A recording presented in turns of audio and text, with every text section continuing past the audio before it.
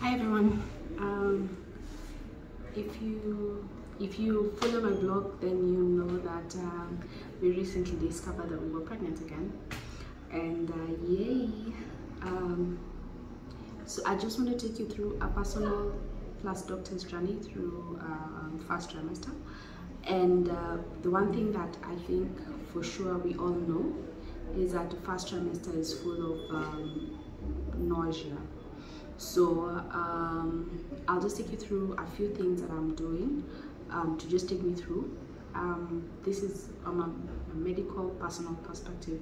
So number one, um, of course, the minute you discover that you're pregnant, uh, you need to take folic. So folic acid.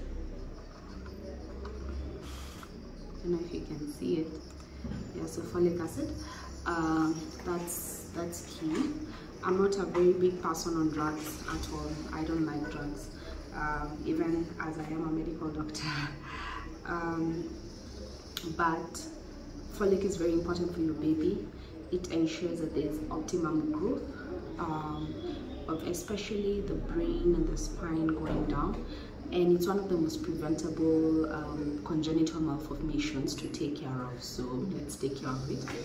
So the other thing is that um, for the nausea and the vomiting, I use um, this. This is Nosic. Uh, it's really over the counter. It has doxylamine and pyridoxine, so uh, really, really good. Uh, for me, I take two tablets at night. So when I take it at night, it prevents me from feeling nausea and vomiting during the day. So kind of helps me ease around during the day. Um, yeah, so that's really been helpful if it's if if in your case the nausea is really bad the other things that you can do.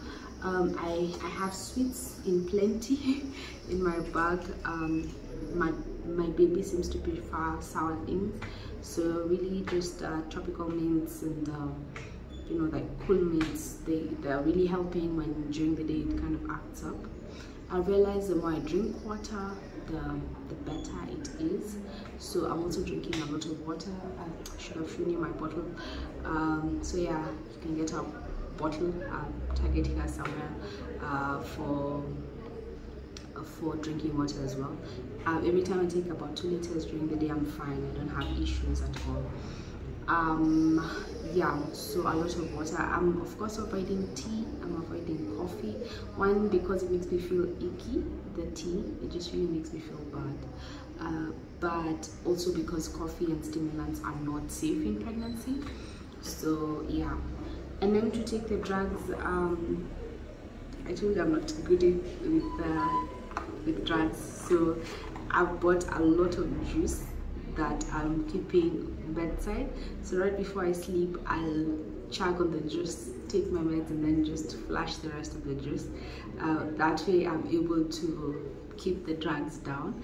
And then i'll wait like 15 or 20 minutes then now actually i get down to, to sleep.